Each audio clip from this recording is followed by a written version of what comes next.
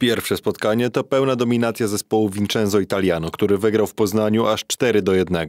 Akcję, którą stworzył Lech przy, przy bramce wyrównującej, sytuacja, w którym padał w polu karnym e, Isak.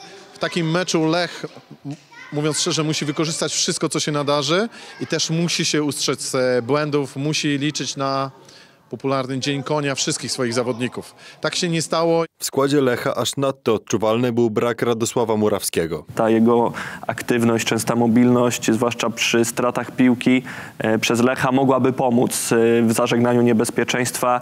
Nikak Fekweskiri nie do końca wywiązywał się tak dobrze z tej roli, jak robi to Murawski. W międzyczasie poznaniacy rozegrali ligowe spotkanie z Legią Warszawa, zakończone remisem 2 do 2. Wszyscy tak podchodzili do tego meczu, ach, jeszcze żyjąc emocjami z Fiorentiną. Natomiast Lech na pewno pierwsze 30 minut miał słabsze, ale później pokazał jakość i ja żałuję, że tego meczu Lech nie wygrał, bo przy stanie 2 do 1, e, no sytuacja Baluły, poprawka Alana Czerwińskiego, to musi być e, gol, który zamyka drogę Warszawie, e, Legii Warszawa do, do korzystnego rezultatu. Podopiecznych Johna Vandenbroma czeka arcytrudne zadanie, jeśli chcą zagrać w kolejnej rundzie rozgrywek. jechać na mecz z taką świadomością, że musisz odrobić gole, musisz odrobić trzy gole i jedziesz do zespołu, który e, no, przed e, własną publicznością wypunktował cię dosyć e, doszczętnie. Kadra poznaniaków jest już praktycznie kompletna i gotowa do walki o najwyższe cele.